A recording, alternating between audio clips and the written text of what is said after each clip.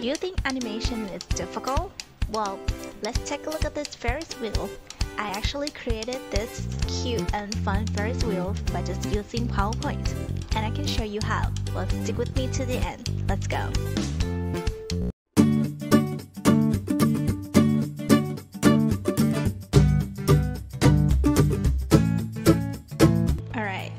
Start by selecting this uh, donut shape. It's actually like a circle with hollow.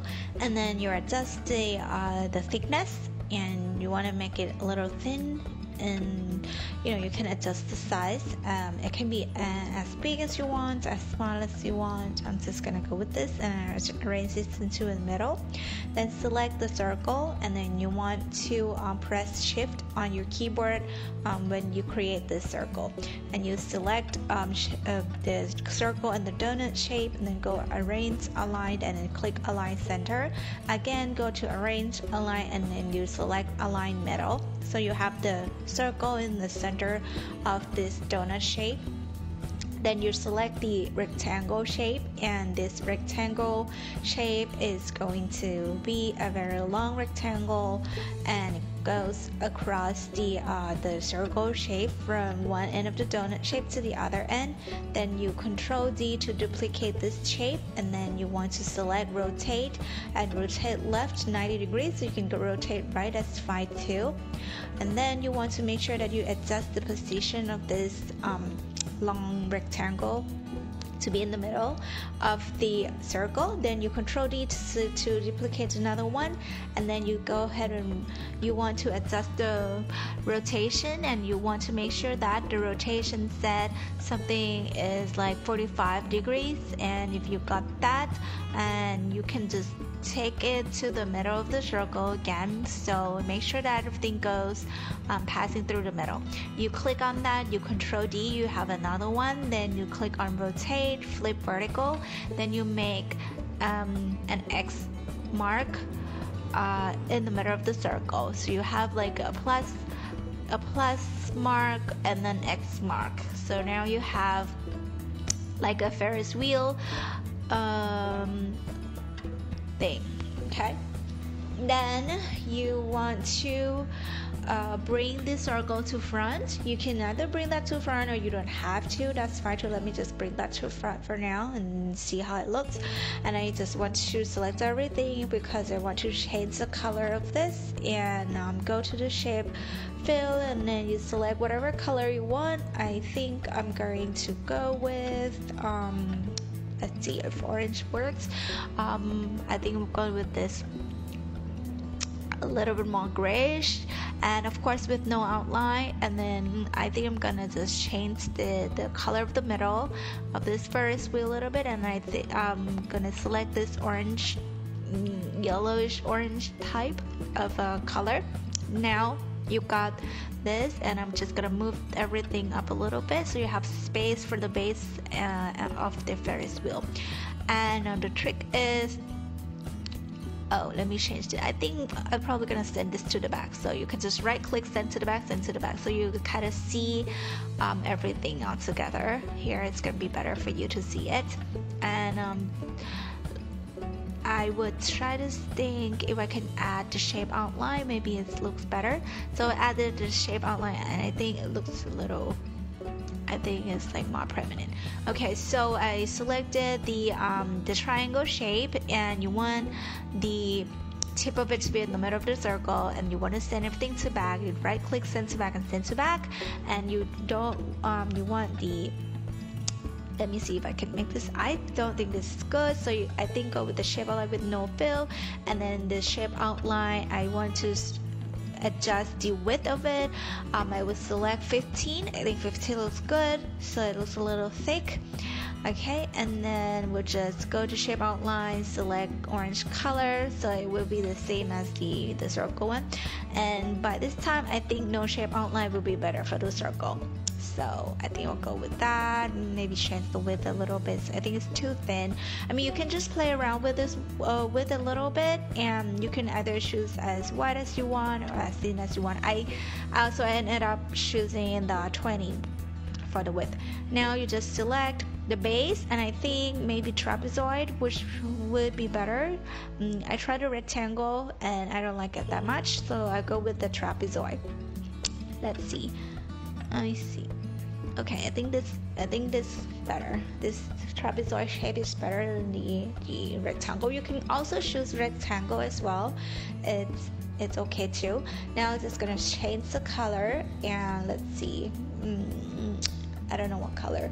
I mean, you can go ahead and choose any color you want. I like this dark blue here, more like a dark navy blue. Um, I think this looks perfect now. So we're gonna add um, this shape that looks like our circle with the plus in the middle. So this is going to be our uh, Ferris wheels uh, cards and I select this more like um, half circle shape as well because I want it to um, be more like a door for the card um, where you know you can just like open up for for the people to like go in. And this is gonna be the place where you can change the color of uh, the card as well. So let me sorry let me adjust this a little bit. It might take some time. So you don't have to do this if you don't want to. You can also um, choose to have a card like can be any other shape if you want. Um, it's up to you okay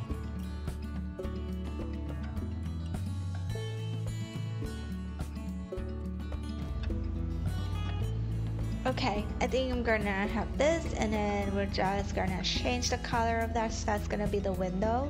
And then um so this is like so annoying. Okay and then I'll adjust the um this a little bit so then I can see it better. Alright. Let's see if we can do that. That is awesome. Okay Sorry guys, this is more like um, me being so, oh, got this. Okay, so change the color and you can choose any other color you want. I'm just gonna go with red for now. And then I don't like outline, so I said no outline for this. And um, mm, let me see if the get the outline for the window. I would say dark blue. Say dark blue. Okay. And let me make this a little bit lighter. Okay I'll go with this. I like this better. So go with this light blue with the shape outline it's a little bit of dark blue. And you want to control everything. And you right click and say group group. And you select everything so then it groups together. So when you adjust the size it will go um, together okay so now you have that. Then you just have to control and D then you have another one. And then you can just like you know put as many as you want. And I just want to make sure that it goes like directly on the opposite. So you just keep uh, control D to add more cards. And that is going to be that one. So we have four one two three four five six seven eight. So we're gonna have eight in total. Uh, so i'm just gonna finish adding this. And I think more for the outline this is what you want and this is it. You can actually just keep it like this or you can just change the color of the card which is I'm going to do now. So you can have like different colors for different cards. And I think that's more like what a lot of Ferris wheels are because they have like this card, um, pink card, blue card, whatever. So let's change the color a little bit. You can just choose any, any color you want. And usually it's gonna be like the opposite card um, that has the same color. Okay. All right. So this is like orange you don't have to change it. You can just like go with like one color. Um, it's fine too but I think this is gonna be like pretty um, in my opinion. So uh, let me check on everything real quick I think. Okay. Alright so I'll select everything like all this and then you control G to group everything together and then you go with the emphasis and you add uh, spin. You make sure the speed is very slow and you go with previous. And actually I just want to select timing myself for the speed. You put 10 seconds for that. I think that's better. Okay because very slow is still too too fast let me try something else. Let's see if 9 it's going to be okay. You said couldn't repeat until next click. Okay, let's go with 9. You can stay with like 10, that's fine too. Now we just want to add the animation for the for the card and you go with the add effect and um, and go with the motion paths and you select go with the motion paths and then you select um, circle and then you want to adjust the circle and make sure that it's as big as your Ferris wheel. Uh, now this is what you have to do.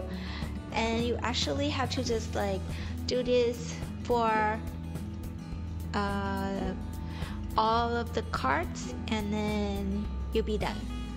Okay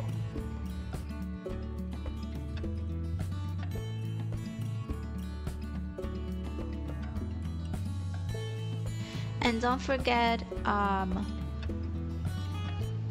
see for the second card you have to rotate your uh, your path of motion a little bit.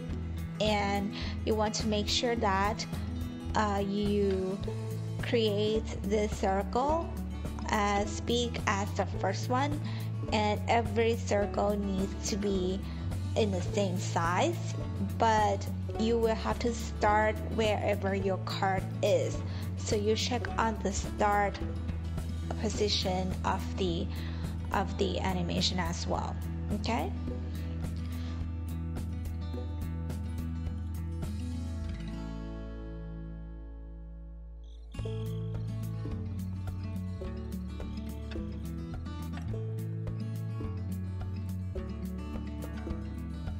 okay so after that you select everything you want to make sure everything goes with previous and you want to adjust the, um, the speed for every animation to be the same time. So you will select the speed and I think I'm going to select um, 8 trying it repeat until next click and see how it goes. Make sure that you don't have the smooth start and the smooth end okay Alright guys, so you, you, got your Ferris wheel here and um, don't forget to leave down a comment below how you feel about this video, how you like about it and this is my second style Ferris wheel that you can do it too. I'll leave down um, the link in the description so you can probably go ahead and download the PowerPoint file as well and don't forget to check out other videos too guys. Well, thanks for watching. Please like, subscribe, and hit the bell icon, and I'll see you in the next video. Bye!